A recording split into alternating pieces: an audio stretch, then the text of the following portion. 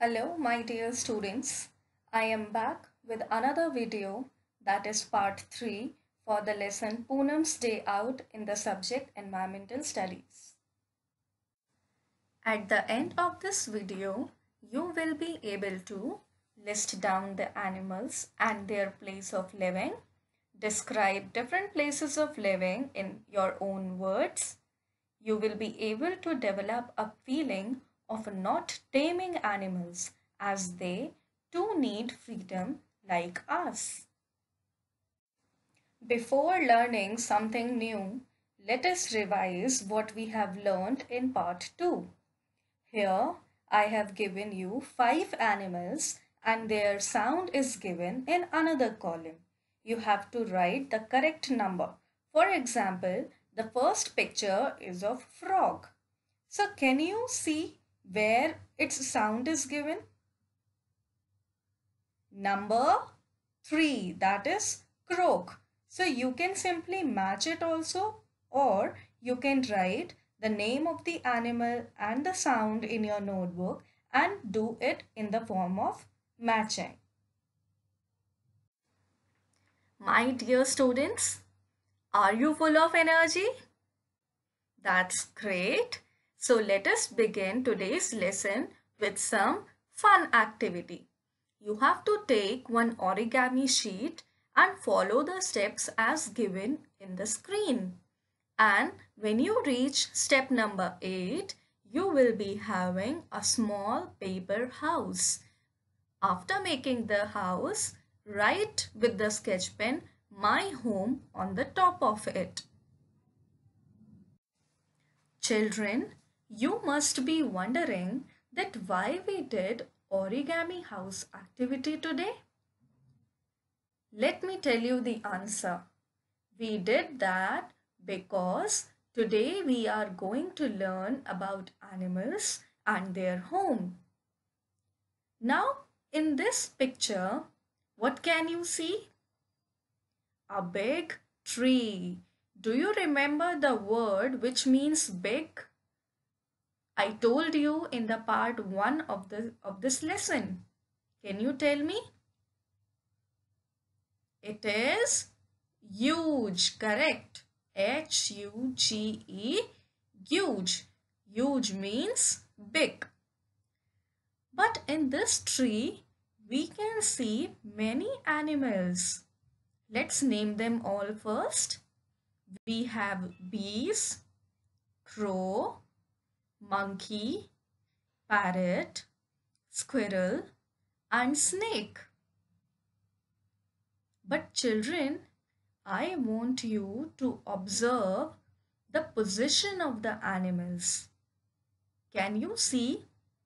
The birds like crow and parrot are at the top of the tree. Crow is sitting in its nest. Parrot is on the branch. Little squirrel is jumping on the branch of the tree. Look at the naughty monkey. It is jumping from here and there. And look at the buzzing bees. But what is that around the bee? Something which is brown in color. It is a beehive. Beehive is a place where bees live and they make it on the branch of a tree. We have a snake also. Snake is coming out of the tree hole. And you, if you look above the snake, you can see little small ants going above the tree. Look how they are crawling. Tree gives a space to everybody. Look how animals are there on the tree.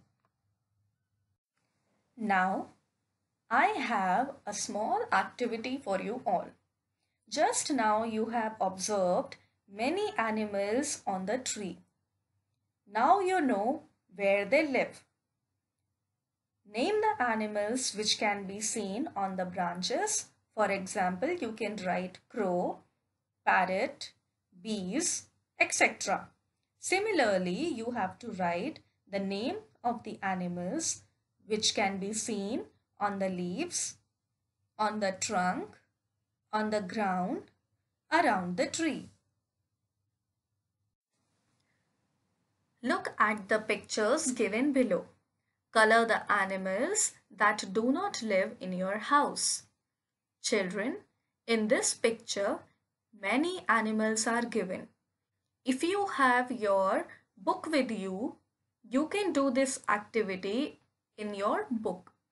But if you do not have it with you, nothing to worry. Simply take your notebook and write down the names of those animals that do not live in your house. For example, dog. Can dog live in our houses? Yes, so we will not write its name. But what about elephant? Can you keep elephant with you in your house? No, because elephant is so big and elephant is a wild animal. So you will write the name of the animal elephant. Similarly, horse. You cannot keep horse in your house. So you will write its name as Will. We have seen the animals living on a tree, animals that we cannot keep in our houses. But what about the other animals? Where do the other animals live? We don't know. Let's find out through a song. Children, dear children, where do we live? We live in our houses, joyful and happy. I hope you all have enjoyed the song. Now let's talk about lion. Lion lives in a den. Lion is a wild animal. So we can find den in the forest. What about little mouse? Mouse lives in a hole. I know you must have watched a famous cartoon Tom and Jerry, right? Jerry is a small mouse in that cartoon. Where does it live? In the hole. Children, look at the first animal. It is looking very white, very soft. But who is it? It is a rabbit. But where is it going? Rabbit is going down under the ground because rabbit lives in a burrow. Spell it out with me.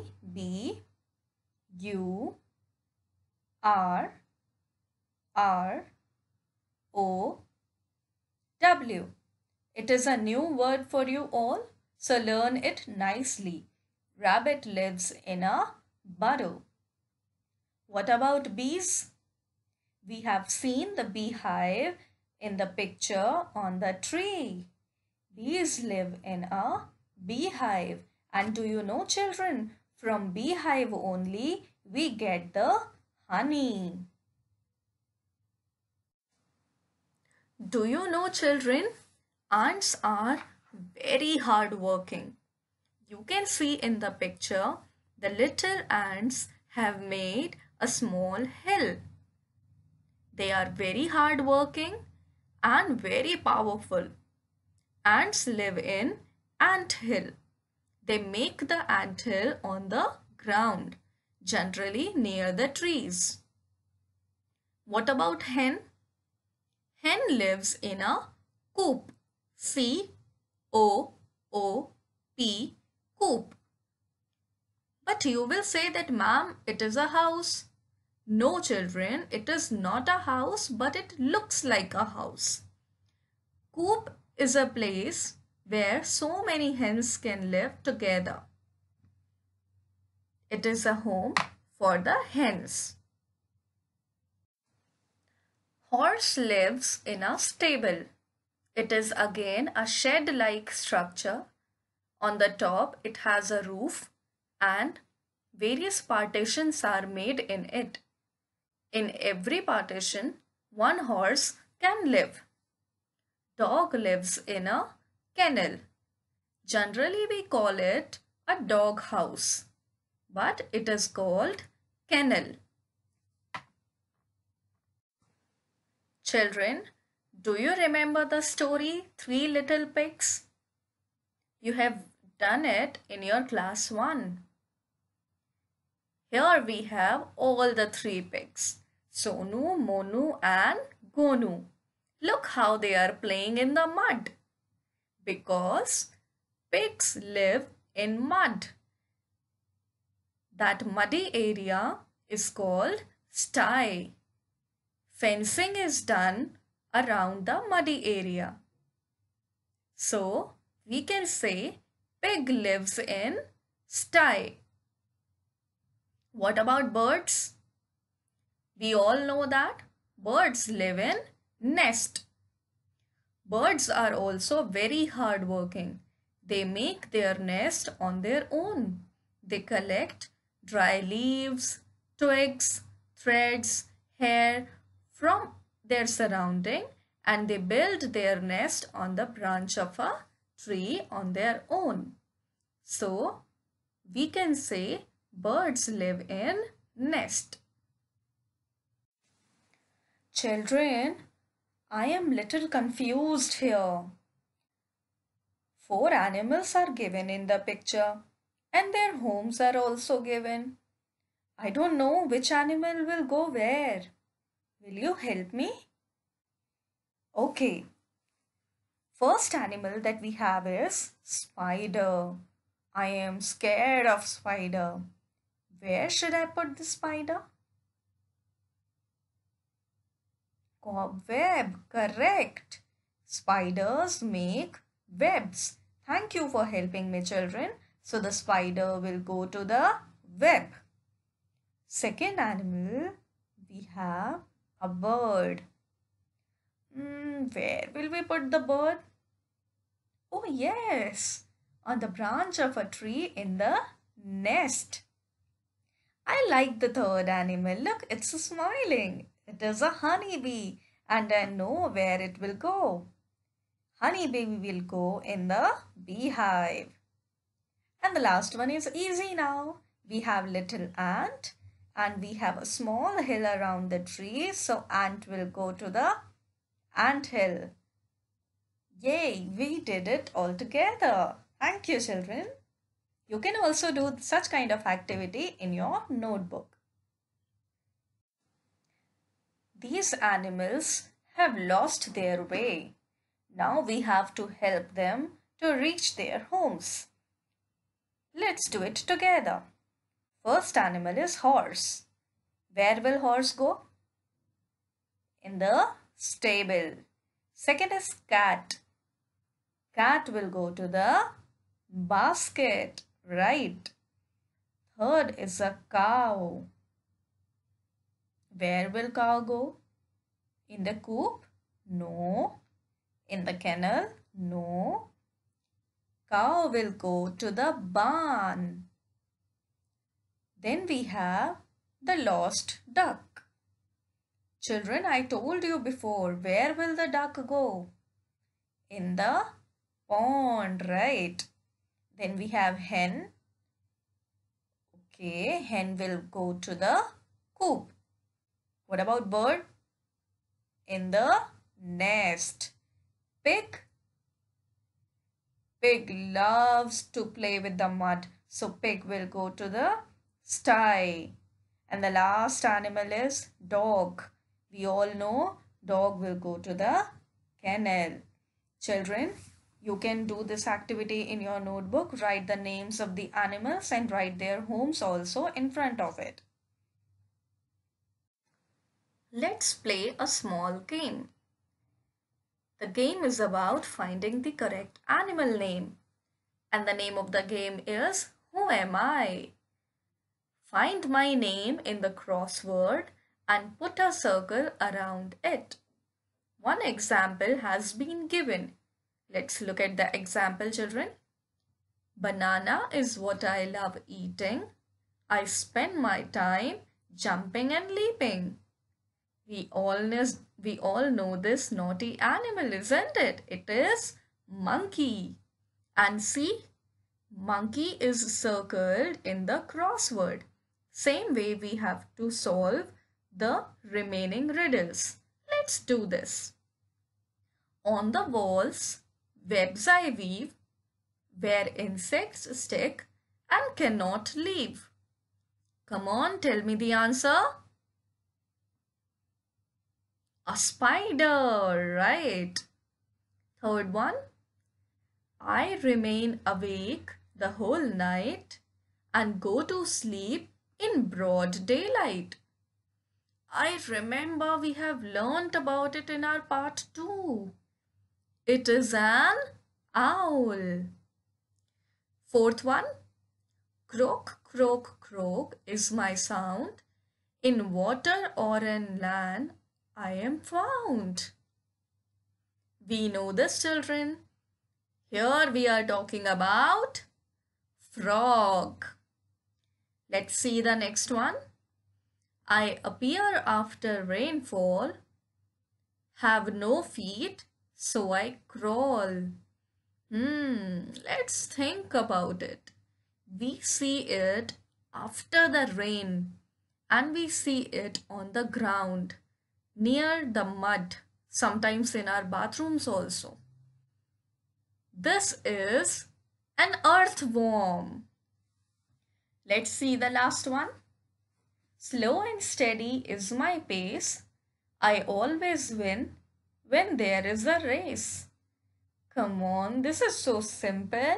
We are talking about tortoise. The last riddle is based on the famous story, The Hare and the Tortoise. Children, you have to write all the riddles in your notebook and simply write the answer. Here are some incomplete pictures of animals. Complete them and write their names below. You can also draw the pictures in your notebook and complete drawing them and then write their names. Also, I want to discuss with you children that like we feel so comfortable, so secure in our homes, same to the animals. A bird feels more comfortable and more free in a nest rather than in a cage. An elephant feels happy and comfortable in a jungle instead of staying in a circus. So, what I am trying to say is even animals like to be free. We should not tame them, we should not bind them let all the animals free. So with this video, I end up with the chapter Poonam's Day Out. I hope all the three parts are clear to you. Keep learning, keep revising and stay safe. Thank you children. See you in the next video.